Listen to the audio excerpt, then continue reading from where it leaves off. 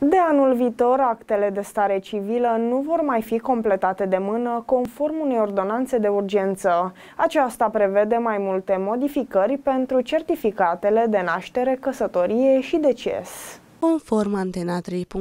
începând de anul viitor, din septembrie, actele de stare civilă, respectiv actele de naștere, de căsătorie și de deces, nu se vor mai completa manual ca acum, ci vor fi tipărite pe formularele dedicate potrivit unei ordonanțe apărute recent. De asemenea, tot de atunci, exemplarul 2 se va întocmi numai în format electronic, atât de către ofițerii de stare civilă din țară, cât și de către cei de la misiunile diplomatice politice și oficiile consulare de carieră ale români. Pe lângă această schimbare, ordonanța de urgență numărul 26 pe 2022 va permite tot din septembrie 2023 ca cererile privind actele civile să poată fi depuse la oricare serviciu de evidență a persoanelor sau primărie din țară, nu doar la ce anumite orașe ca până acum. În plus, ordonanța stabilește și că dacă la declararea copilului părinții nu se înțeleg cu privire privire la prenumele acestuia, în actul de naștere se va înregistra prenumele din documentul emis de spital. Pentru a respecta regulile stabilite la începutul lunii mai, privind numărul maxim de prenume ce pot fi înscrise pe certificatul de naștere, în cazul în care în certificatul medical constatator al nașterii, prenumele înscris are mai mult de trei cuvinte, în actul de naștere se vor înscrie doar primele trei. Notează avocatnet.ro, relatează antena a între